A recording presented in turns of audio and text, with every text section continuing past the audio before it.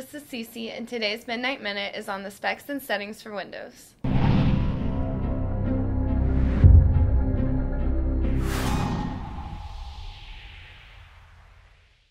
So if you go to our website and go to Shop All Games, and then scroll down to Midnight in Salem, and you keep scrolling down, you'll see on the right side there's all the platforms that we have where you can purchase the game. And if you keep scrolling down, you'll see the system minimum requirements for Windows. So you do need to have Windows 7, 64-bit or later. Next, you're going to want to run a DXDiag report. Go to the search bar in the bottom left-hand corner, and you'll type in DXDIAG. So when this pops up, you'll click on Save All Information, and you can name it whatever you like and put it in any spot that's easily accessible for you.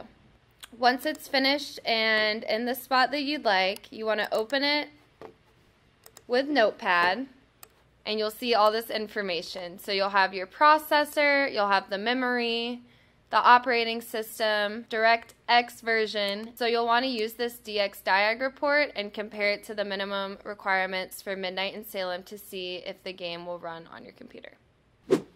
So once you make sure that your computer meets the minimum system requirements and you're still encountering issues with getting the game to run smoothly, you can adjust a couple different settings in the advanced settings window. Your first instinct might be to automatically set the graphics on high but it really depends on your computer.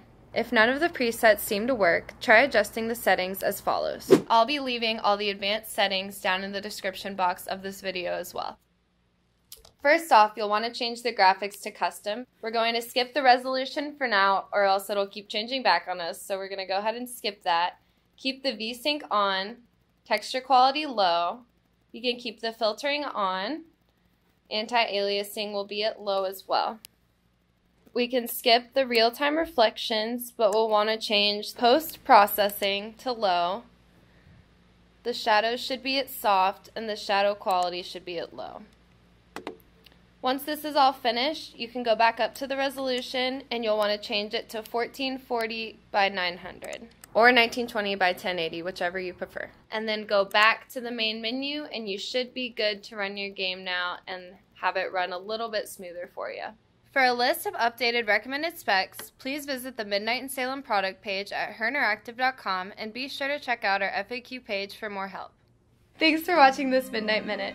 Feel free to contact us at techsupport at herinteractive.com. We'll see you next time.